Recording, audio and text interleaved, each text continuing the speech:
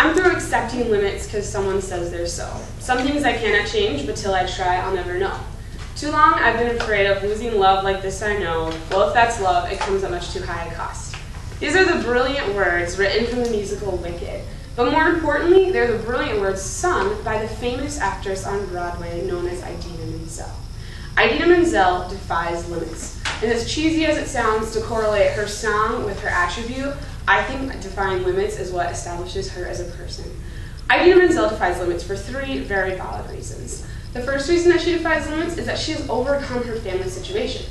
The second is that she is incredibly passionate, and the third is that she cannot be contained in a box. Idina Menzel has overcome her family situation as my first reason.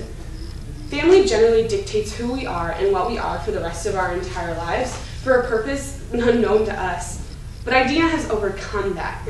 Idina was born into a family of poverty. She was born from a pajama salesman father and a mother working minimum wage at some time a therapist. Soon after that, her parents got a divorce, and Idina felt alone and isolated, not knowing who she was. There was a time in Idina's life in which she was watching the musical Annie. Annie's a story about an orphan girl who overcomes everything to find love. Idina felt really inspired and passionate about it, and so she decided to start singing. She soon found out that she was incredibly talented, along with her mother finding that out. Her mother soon got involved in bar mitzvahs and weddings, and eventually Idina was so noticed by because of her talent from watching Annie that she was accepted into NYU for music. NYU is one of the most prestigious colleges in America and is a huge feat.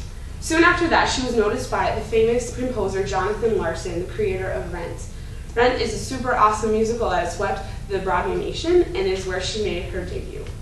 All of these things would not be possible if it wasn't for my second reason, in which that Idina is incredibly passionate. But I don't want to speak for Idina when I say these things because Idina writes her own music.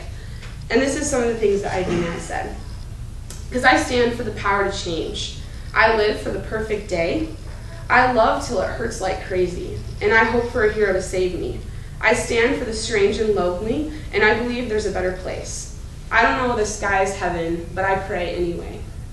Idina is passionate, and these words are coming out every single time that she sings. Idina doesn't want to give up. She writes music. That is something that is so uncommon for a Broadway actor because they don't have time.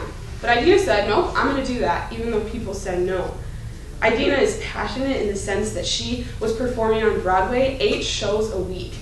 That's not something that's easy to do. It's physically and emotionally exhausting, but Idina was like, nope, I'm going to do it. And she did.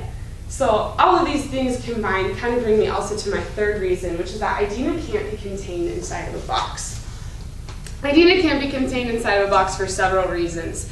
She went to NYU for music. She went to NYU to perform arias and operas, but instead she came out singing musical theater in the show Rent. People who know Idina would have said that that is the last place that they would have ever seen her performing in a show that represents homosexuality and AIDS. But Idina said, nope, you can't contain me in a box.